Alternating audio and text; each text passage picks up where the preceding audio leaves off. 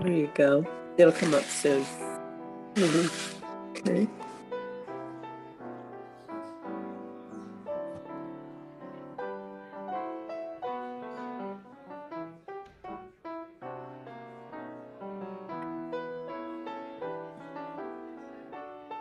You probably take this if you wanna.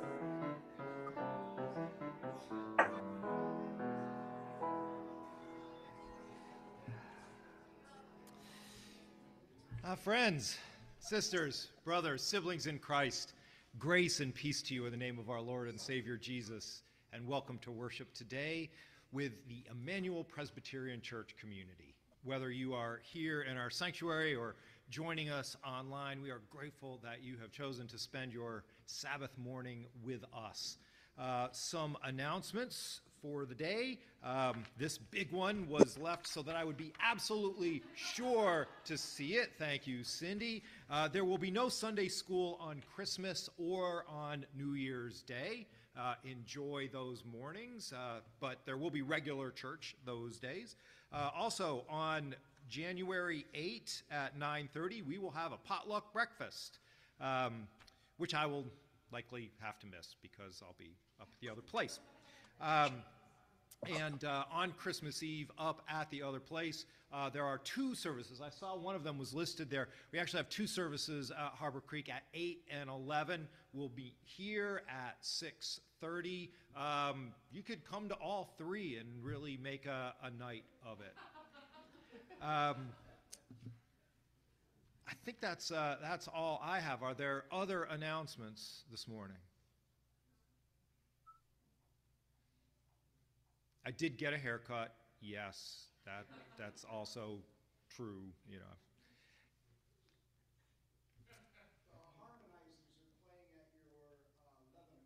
At the yes, the harmonizers will be at the eleven o'clock service. hmm Oh, and uh, yeah, today two o'clock uh, up at the other place um, is uh, my installation or our installation because this is an opportunity to recognize that Emmanuel Church and Harbor Creek Church and I are entering into uh, a new and uh, uh, we could even say blessed or sacred relationship, a relationship of, of, uh, of trust, a relationship of welcome. I have been overwhelmed by the, the reception that you have all given me, the welcome. And uh, this is a, an opportunity for all of us, both churches, to come together and really celebrate the new thing that God is doing. So, 2 o'clock at Harbor Creek for the service, and then back down here at 4 for the meal. Friends, let's take a moment now to center our hearts and our minds on things divine. Let us breathe deeply of God's Holy Spirit. Let us worship God.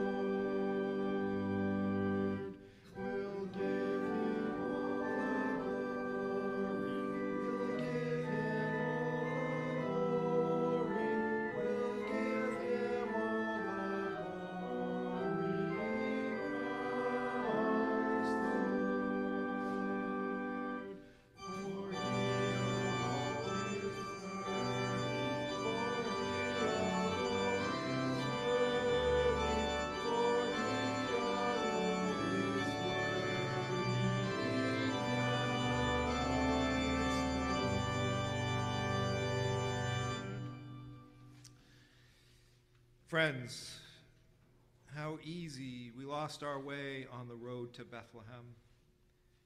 How quick we are to dismiss the dreams and hopes our God has for us in this holy season. Let us come to the one who approaches, ready to swaddle us in forgiveness and grace, as we pray together, saying, Come now, Redeemer of the nations. For our world, our lives need your peace more than ever. Come, summoner to discipleship, for we long to let go of our self interest and narcissism. Come, word gifter, for we hunger to hear your voice once again, ever, always. Come, servant of the poor, so we notice you in all those we push past in this hectic season.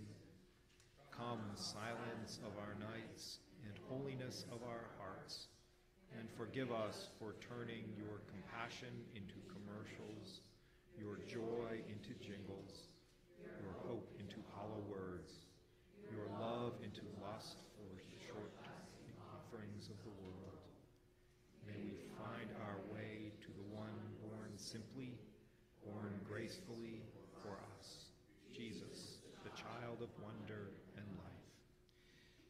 And let's take a moment now to offer our silent confession.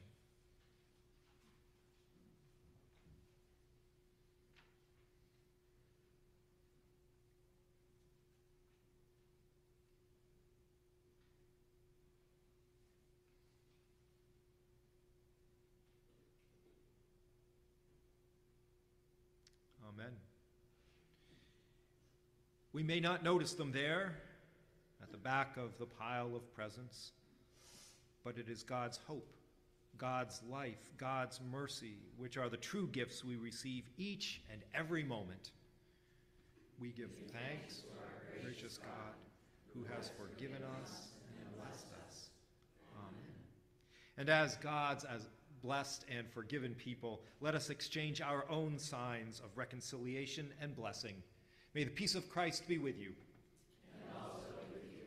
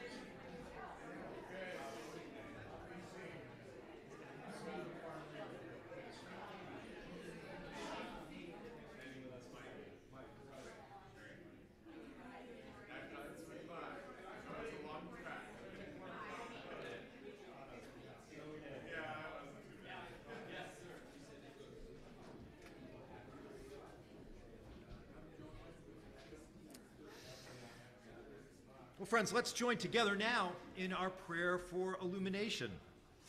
Sure, you can, yeah, we can sit for this. Come, good news of grace, prepare our hearts to welcome you and all whose hopes have turned to ashes. Come, dreamer of peace, so we may pour our lives and gifts into a world in need of reconciliation. Come, Spirit of wisdom, so we may hear and believe the word written, proclaimed, and made flesh. Amen. And I'd like to invite any children or children at heart to come on down. Are they here? Oh, that's all right. Okay. Well, see, so so that was that was kind of my message today was so we were going to talk about this. I might as well talk about it, right? There we go. So, yeah, so what I was going to talk about is like surprises because we got surprised up at Harbor Creek this morning. We were supposed to have the Christmas cantata, um, but we had a little outbreak among the choir. And so we had to set that aside. I learned about that last night. So we just had to kind of figure things out in a, in a different way this morning. Fortunately, um, I already, had already prepared a sermon for you all, but um, uh, things were different that this morning up there, and we figured it out. We got surprised. So, um, so I've been thinking about surprises, right, and the, the unexpected things that can happen. It might be just a, a snowstorm that is, uh, has kept us away, and uh, and all the things that can just you know change in the in the service in the morning. And I got to thinking about whether or not those are the really important things. And i don't think they are. You know, we figured out how to have worship up there. It was wonderful. We, you know, it's Sunday, and uh, and we get one every week. We get Sunday,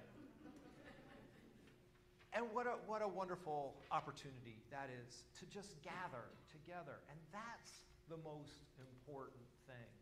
Um, so yeah, that's what I was gonna. That's what I was gonna talk to the, to, to the kids about. Like that, all the stuff that we do and all that. That's that's not really why we're here. We're really here to be together, and whatever we do, to share in that together. Here we are. Let's pray. Oh, most wonderful God, for uh, for the opportunity just to gather together to, uh, to laugh, to sing, to pray, uh, to think, to feel. We are grateful. And whatever today brings, thank you. Thank you. And we ask this prayer in Jesus' beautiful name. Amen.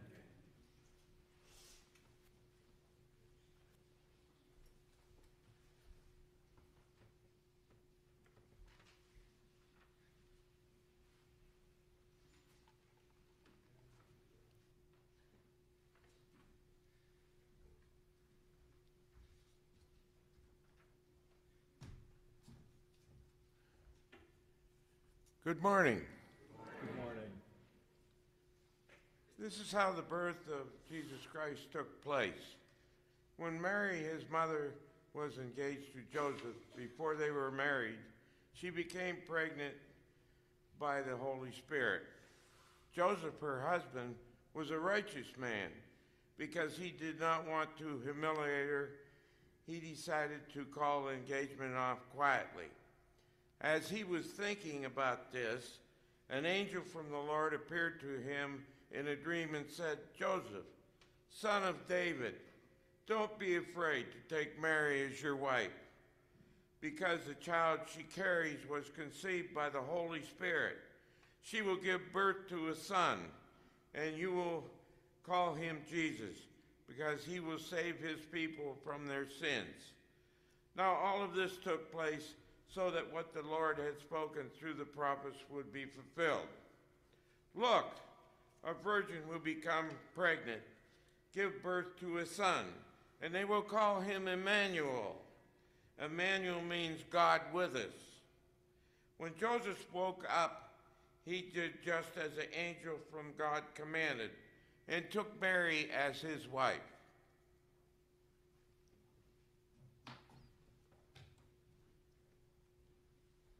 From the prophet Isaiah. Again, the Lord spoke to Ahaz. And yes, again, we've got more Ahaz, right? The Lord spoke to Ahaz and said, Ask a sign from the Lord your God. Make it as deep as the grave or as high as the heaven. But Ahaz said, I won't ask. I won't test the Lord. Then Isaiah said, Listen, house of David, that is Ahaz. Isn't it enough for you to be tiresome for people, that you're also tiresome before my God? Therefore, the Lord will give you a sign.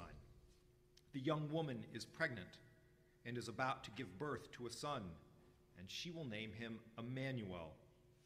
He will eat butter and honey and learn to reject evil and choose good Before the boy learns to reject evil and choose good, the land of the two kings you dread will be abandoned. For the word of God in Scripture, for the word of God among us, for the word of God within us, thanks be to God. This bit of Isaiah is included in the Advent lectionary, kind of obviously, because it has that line the young woman is pregnant and is about to give birth to a son, and she will name him Emmanuel. Matthew appropriates that from the Greek version of the Old Testament, in which the Hebrew word for young woman becomes the Greek word for virgin. Then he removes it from its historical context and uses it to affirm the birth and identity of Jesus. That's what we heard in the passage that Ron read. And whether or not Matthew's exercise in proof texting is appropriate has figured into Jewish Christian debates since at least the second century CE. And the Isaiah passage does have a context, a pretty specific one that Isaiah lays out in the first nine verses of chapter 7. It's around 720 BCE. Ahaz, a descendant of the house of David, is king of Judah in Jerusalem. I think I've mentioned Ahaz in maybe the last three or four sermons. The king of Israel, which was to the north of Judah, and the king of Aram, which was to the east of Israel, they have joined forces and are conspiring to attack Jerusalem and install a puppet king in place of Ahaz, or the Davidic monarch, uh, a puppet king who would be more congenial to the Israel Aram alliance. So Isaiah is told by God to go to a terrified Ahaz who knows all of this and say, Be careful, stay calm, don't fear, don't lose heart. The evil being planned against you, it won't happen, it won't take place. And if you don't believe it, God says, Ask for a sign, any sign at all. High as the heavens, deep as the grave, anything you want. Ahaz, though probably trying to be respectful or pious, says, I won't ask. I won't test the Lord. But Isaiah interprets that response not as respect, but as a refusal to trust. He calls Ahaz tiresome. Then Isaiah says, if you won't ask for a sign, which is a pretty rare offer by, from God, then God will pick the sign for you. And here it is The young woman is pregnant and is about to give birth to a son, and she will name him Emmanuel. That's how it appears, present tense, not future.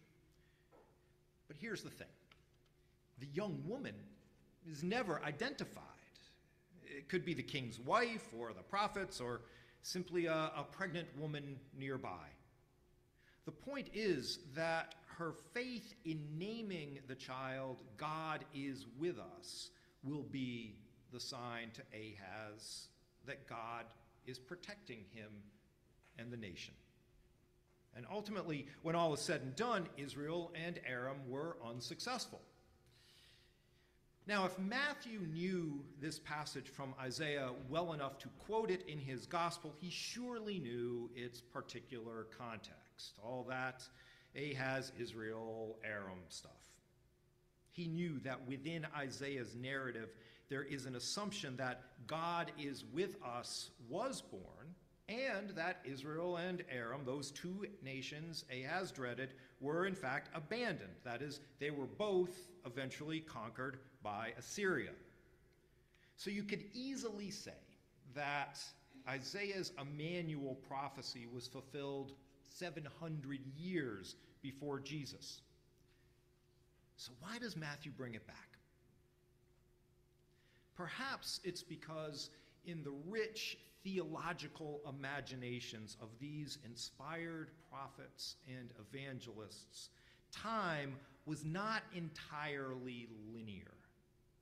Prophecy was not journalism, tense, past, present, future. They were relative and ambiguous. Yesterday could be tomorrow. Now could be suspended and held indefinitely. Matthew could orient Joseph and Mary and Jesus in the long salvation history of his people by folding Isaiah's prophecy forward and saying, We've seen this before. We've heard this before. Matthew drew from a broad palette of prophecy to paint his picture of Jesus. He called on Isaiah and Jeremiah and Hosea and Micah and the Psalms.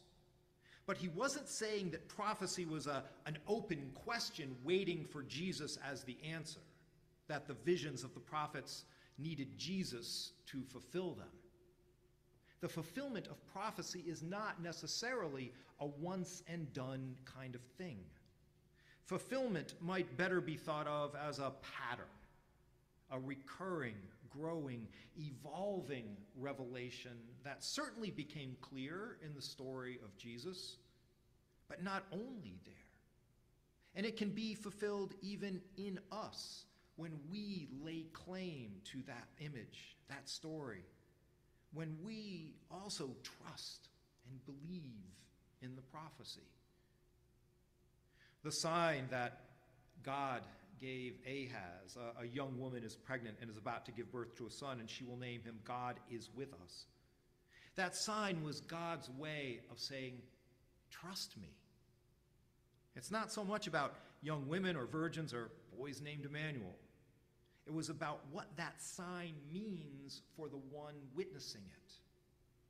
I can be trusted, God is saying, blatantly and with a name that's almost a little too on point.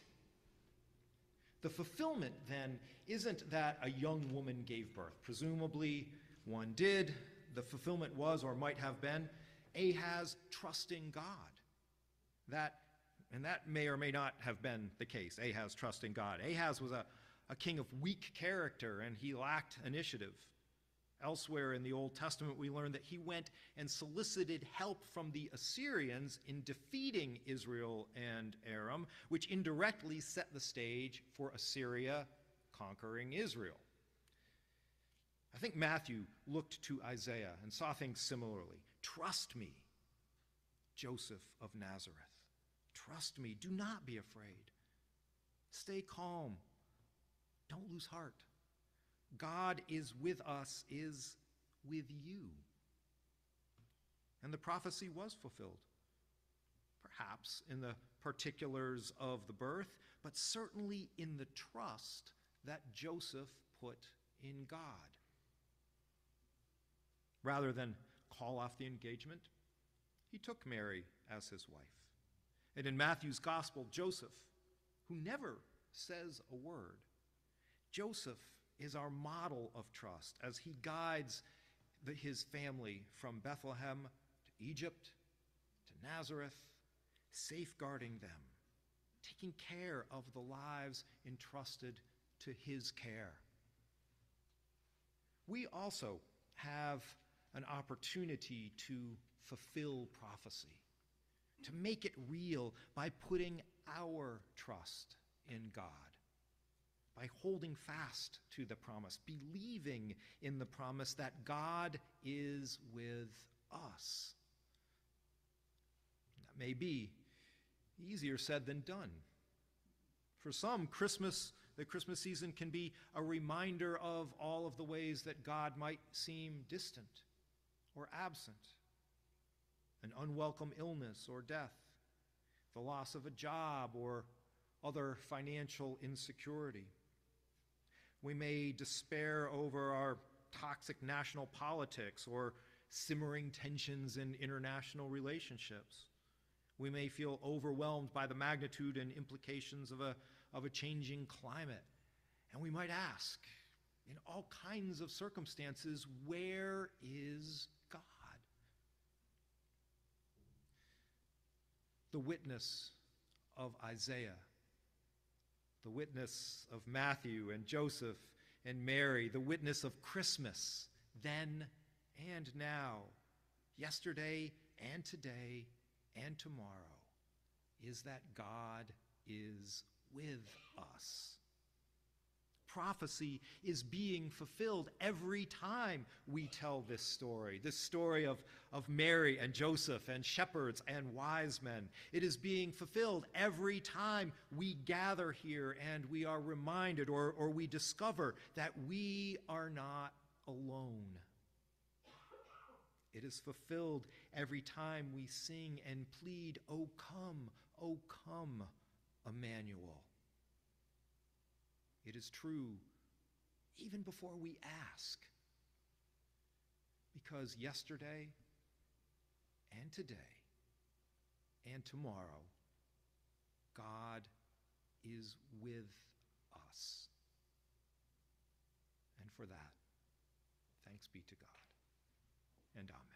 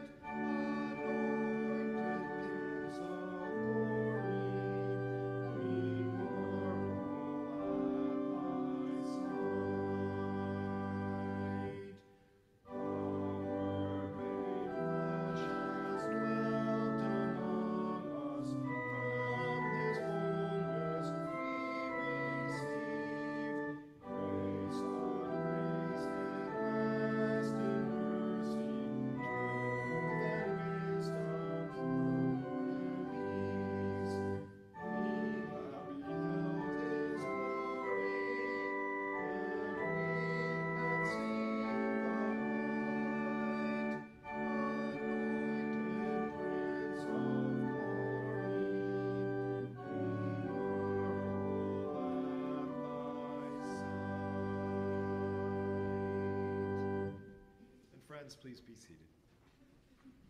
And we come now to that time in our worship when we join our hearts and our minds together in prayer. And I would invite you to share with me any joys or concerns, prayers or petitions that we might entrust to each other and to God.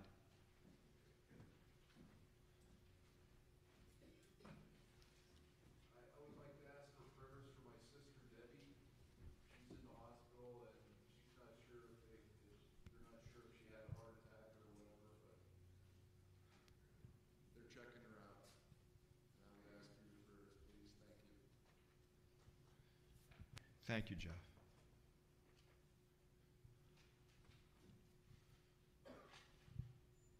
I'd like uh, prayers for our cousin, or cousin, my niece Kelly.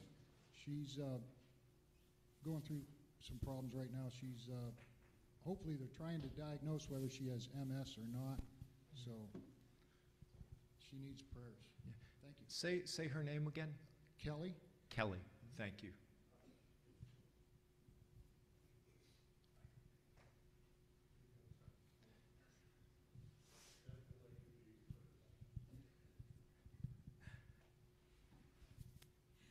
Well, we have two joys this, uh, this week. Today is our daughter Brenda's birthday, and then Wednesday is our son Brian's birthday. So, Wonderful celebrations. For the last two Thursdays, the Men's Brotherhood has manned the Red Kettle for Salvation Army at Tops on 38th Street. And I'd like to thank the men for helping out. Thanks, Art. Yeah.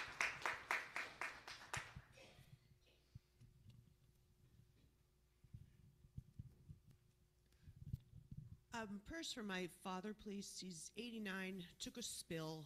Um, there's no stroke, there's no heart attack, but his lack of balance got the better of him. So he is still in. My brother and his wife went down yesterday. So there's somebody under 60 helping. so, uh, Don Chichester. Dawn. Yes. Thanks, Debbie.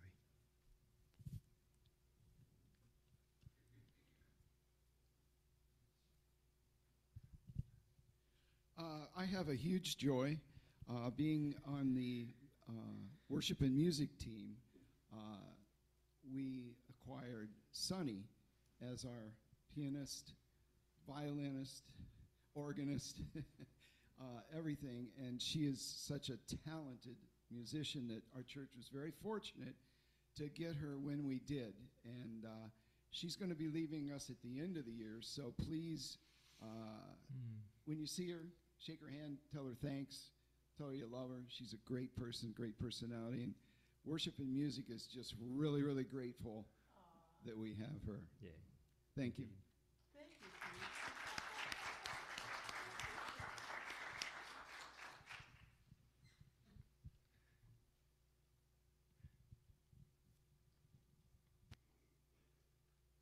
Friends, let's pray.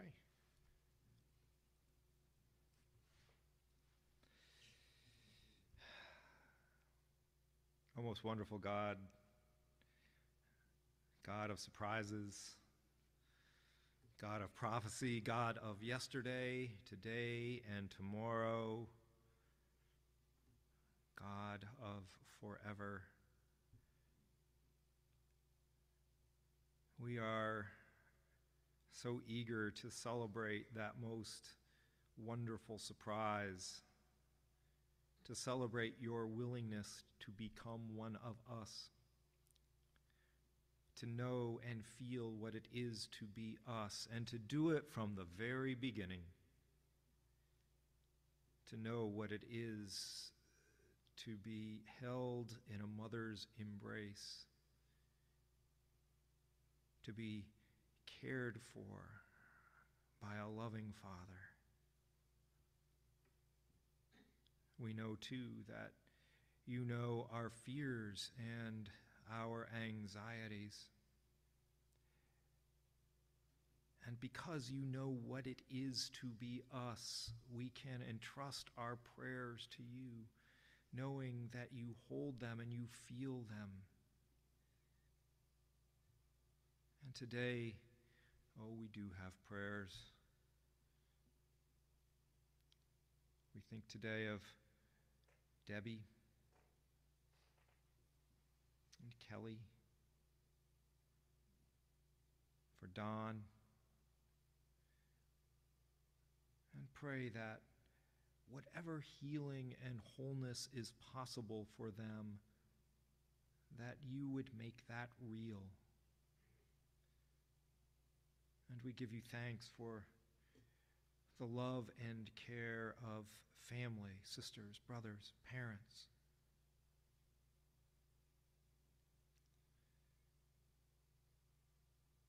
We remember today, too, the joys in our lives, the simple joys of, of a birthday, that opportunity to,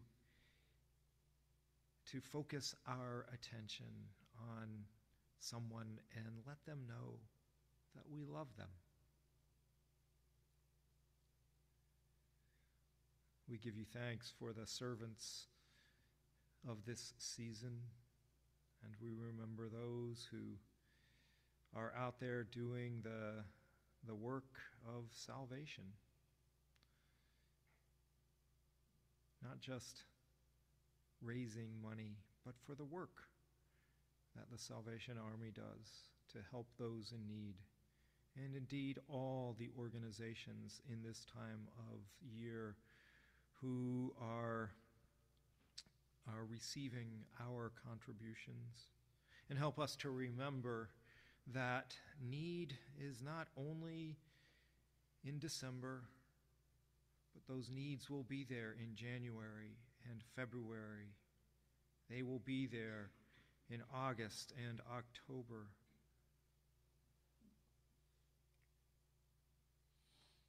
And we rejoice this day in the, in the gifts of worship that have been uh, so enlivened by our friend Sonny. She will always be a part of this community, and we will continue to hold her in our hearts and in our prayers. Oh Lord, we are close. We are close. And the next time we gather in this room, we will light the Christ candle. We will sing those hymns of great joy, of peace on earth, goodwill toward all. We will celebrate the birth. And help us to remember that Jesus is real and alive, not just on December 24 and 25. Help us to remember that He was in the beginning with God, that Jesus too is yesterday and today and tomorrow. And hear us now as we pray that prayer that describes your kingdom on earth, saying, Our Father, who art in heaven, hallowed be thy name. Thy kingdom come, thy will be done on earth as it is in heaven. Give us this day our daily bread, and forgive us our sins as we forgive those who sin against us. And lead us not into temptation, but deliver us from evil. For thine is the kingdom, and the power, and the glory forever. Amen. And friends, let us now continue in worship, indeed, continue in prayer as we return a portion of God's blessings back to God. Let's present our tithes and our offerings.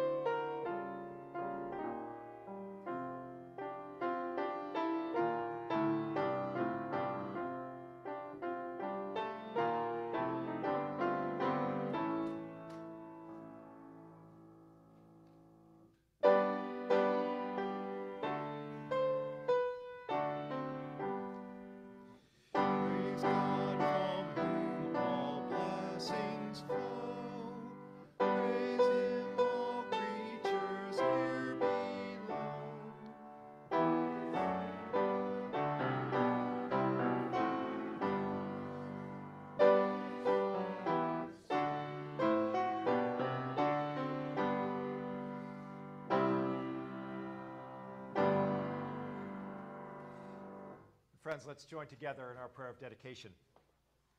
Almighty God, receive our offering for the sake of Christ our Lord. Make us worthy stewards of your gifts and generous citizens of the kingdom of your Son, Jesus Christ, through whom we pray. Amen.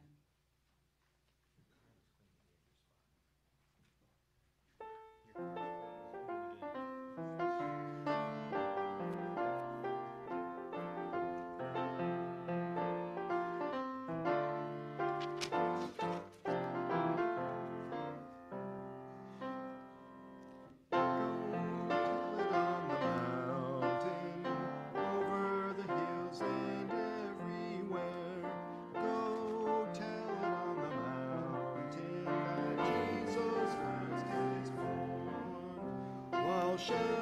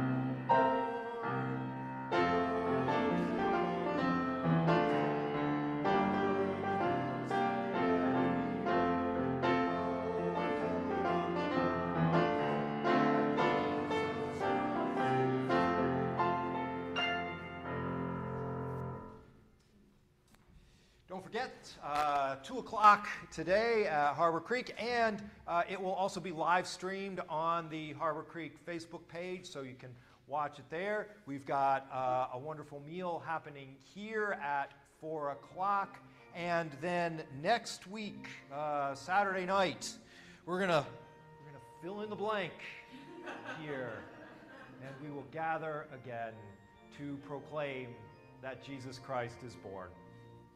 Friends, may the grace of our Lord Jesus Christ, the love of God, and the sweet communion of the Holy Spirit rest, rule, and abide in your hearts now and forever.